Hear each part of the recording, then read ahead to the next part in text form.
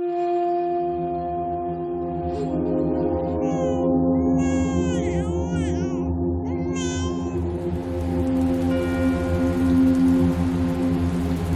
Carolina, eu te batizo em nome do Pai, do Filho e do Espírito Santo.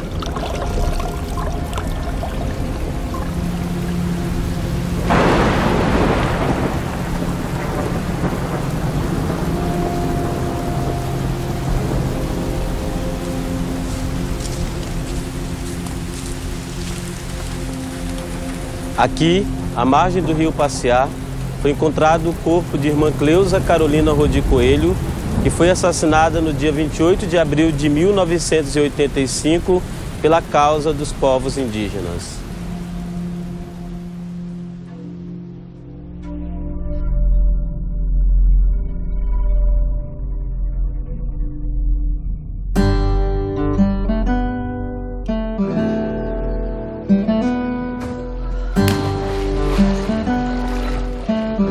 Cidade de Lábrea é uma cidade do sul do Amazonas, com uma população mais ou menos de 40.600 habitantes, tendo na base da sua economia a agropecuária e o extrativismo. A pesca também é um ponto forte na economia do município, né? apesar de que grande parte desse pescado sai para outras regiões.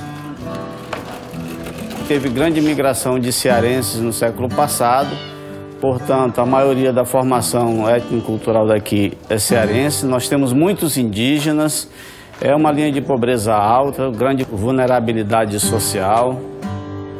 Labra era a vida dela. Ela falava naquele povo, no, no trabalho dela lá com os ancenianos, com os presidiários. A vida dela era isso aí. Era uma mãe.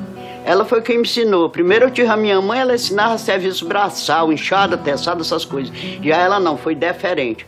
Foi para criar as coisas, remendar a casa quando estava podre, fazer limpeza, criar galinha, criar pato, criar porco, criar muitas plantas para matar a fome mais tarde, que ia ser uma, uma grande fome como tem acontecido.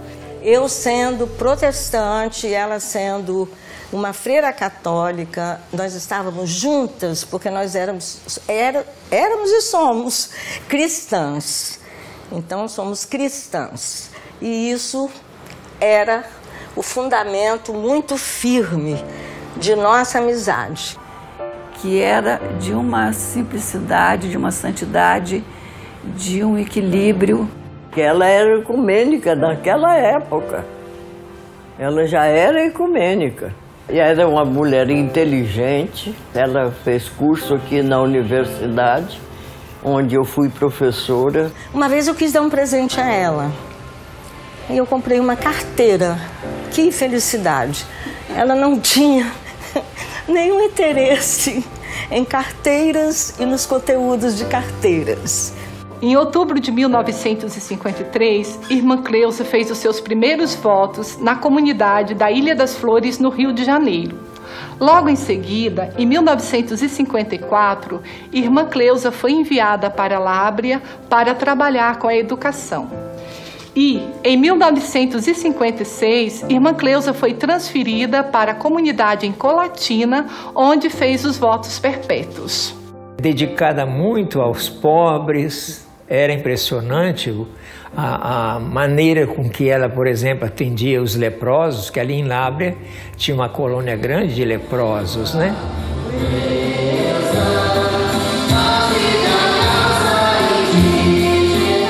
Ao longo de sua vida religiosa e missionária, Irmã Cleusa trabalhou em diferentes lugares e, finalmente, em 1979, veio a sua última transferência e o seu destino era Lábrea. Voltava para assumir a direção do educandário Santa Rita. Eu me lembro até hoje quando ela chegava assim na porta da sala e ela dizia Good evening, class. Aí todo mundo respondia, a gente se levantava e dizia Good evening, teacher.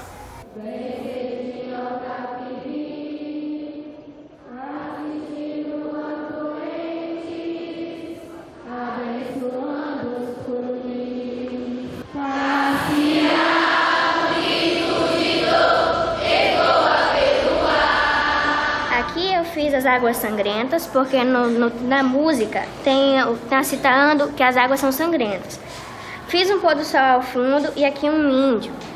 Aqui tem a nossa professora Alcelinda citou no, ao longo do texto que tinha um homem levando ela no motorzinho no barco. Ela lutava muito pelos direitos dos índios e ela morreu lutando pelos índios.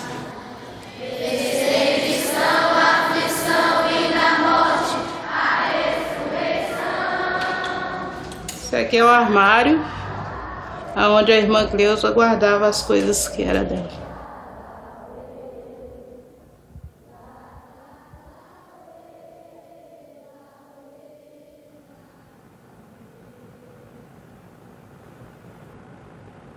Bom, aqui é um pequeno museu, né, que a gente, nos 25 anos do, do martírio da irmã Cleusa, a gente pensou em fazer esse museu.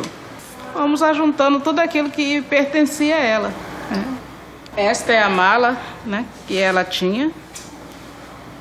Né? As fichinhas dela de planejamento de aula. Né?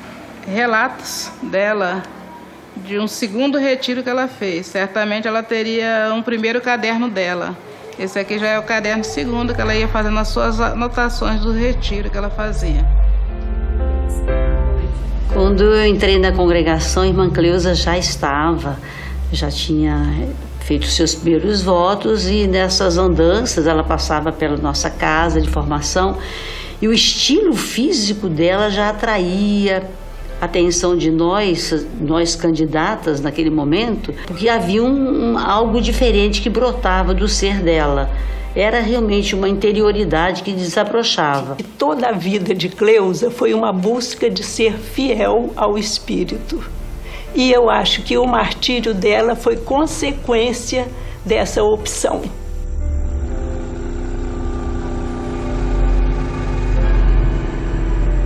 Você sabe, você chegar assim num canto que uma casa desarrumada, né?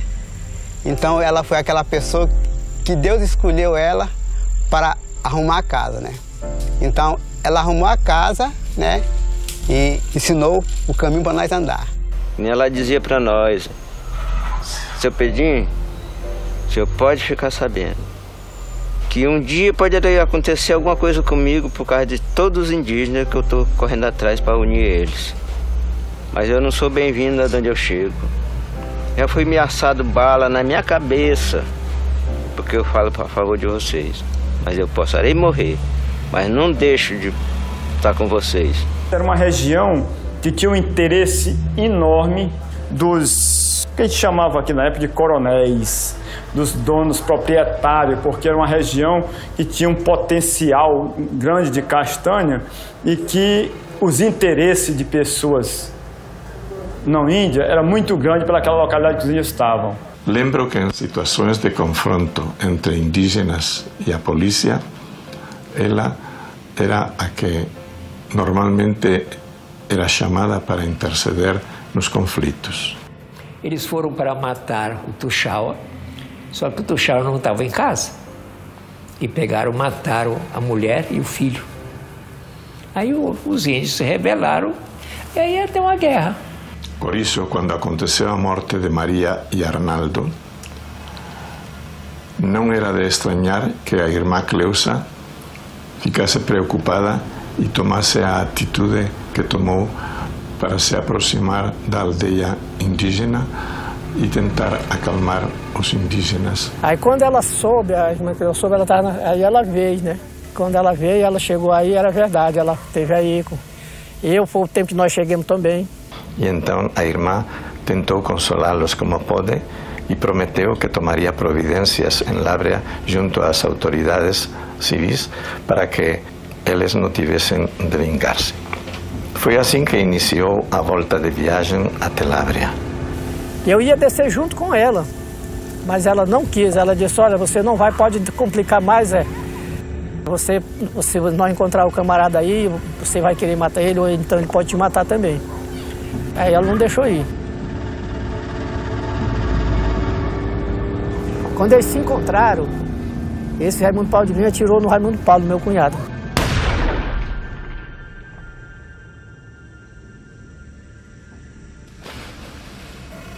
O chum pegou assim de raspão, aí ele caiu na água. Ela disse, Raimundo, te cuida, vai embora porque você tem filho para criar.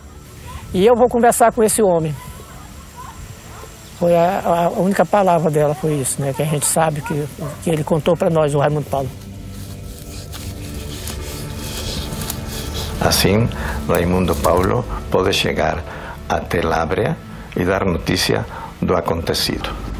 Eu, como vigário geral e pároco na ocasião, tive de organizar o possível para localizar o corpo da irmã nas proximidades do rio Paciá. Não conseguimos localizar nenhum vestígio nessa viagem e no dia seguinte me prometi a mim mesmo voltar, como de fato fiz, com dois rapazinhos.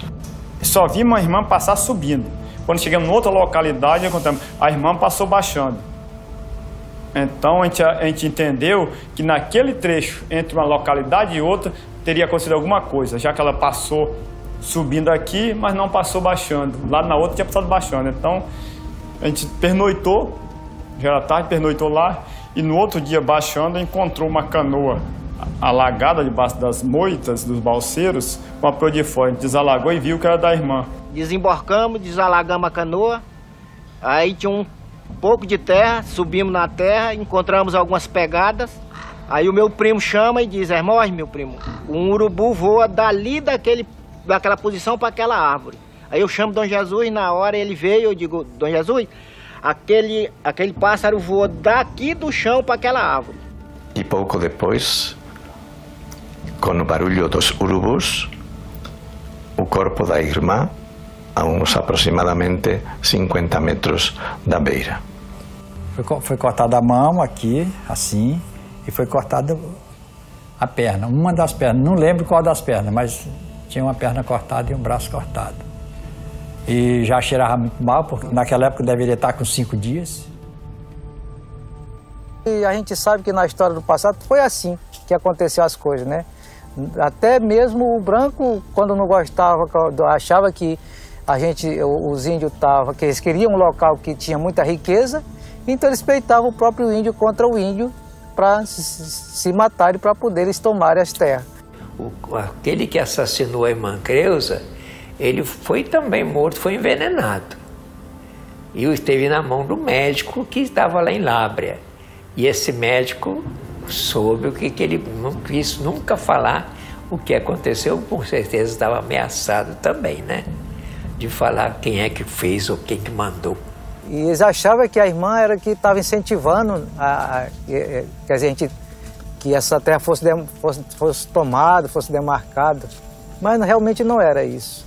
Quem tá, tinha, era, era pela FUNAI, pela Autopro, né, tá analisando essa terra, porque aqui já também já morava muito índio, né? Aqui nas cabeceiras do rio aqui tem várias é, capoeiras, malocas, cemitério, né? Então isso era, era realmente dos índios. Então eles invadiram e depois a FUNAI é, fez o estudo e, e que, que concretizou que realmente era dos índios novamente. E por isso que foi feito essa, esse trabalho é, dessa demarcação. E a irmã, ela não, não, não entrevia, ela dava aquele apoio de caridade, né? Assim, remédio que a gente não tinha. Naquela época, trazia remédio, um pouco de remédio. E orientava, né? Orientava e também, ela também é, pregava o evangélico para nós. E a gente aprendeu muito com ela. E hoje ela vive para nós como se estivesse vivo dentro, dentro de nós. A caminhada dela, ela foi que nem Cristo, né? Ela morreu por nós, né? Derramando derradeira gota de sangue que ela tive na vida, né? Mas eu creio que ela, ela não morreu em vão, né? Ela morreu por nós todos, né? Eu estava deitado no meio dessa sala aí quando me deram a notícia. Ora, chegaram, a irmã Creuza chegou a falecer. Mataram a irmã Creuza. Naquela hora,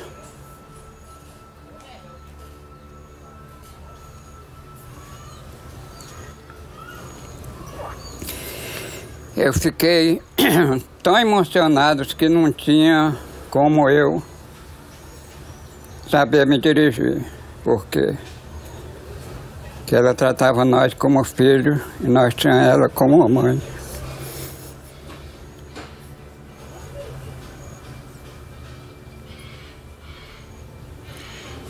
Mas que eu quero dizer que Deus tinha ela em bom lugar. Assim como ela foi bom para nós, seja a alma dela para Deus.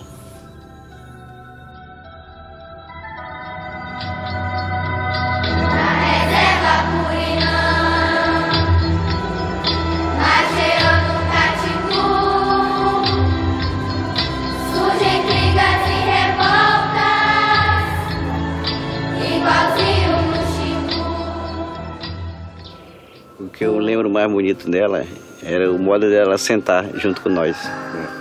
Né? Sentava, colocava as perninhas assim cruzadas, arreava, na, tá entendendo? A batina, né? Como é que se diz assim, né? Se cobria e ficava conversando com a gente. Eu achava muito importante. É. E ensinando a nós que nesse tempo nós era criança, né? Nunca deixasse de estudar.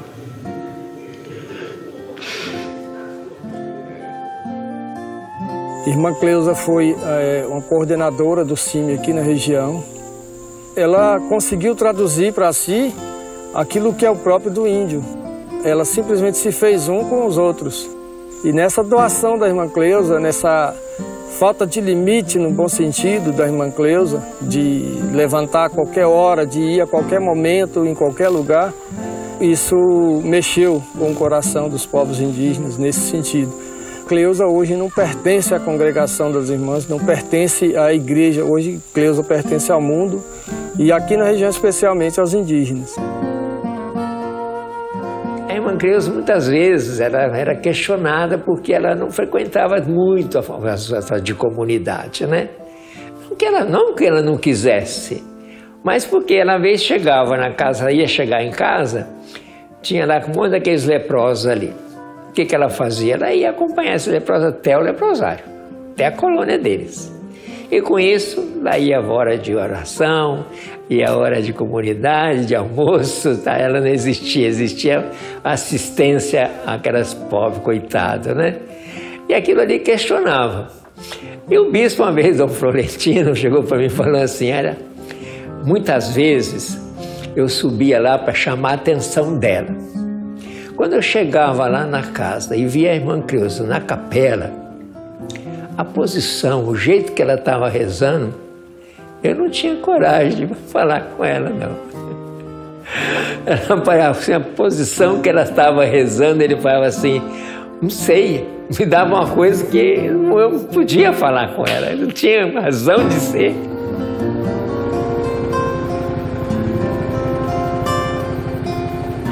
Amanhã, irmã Ivone e eu, irmã Jacira, a gente parte para Labra, interior do Amazonas, para continuar o trabalho da irmã Cleusa.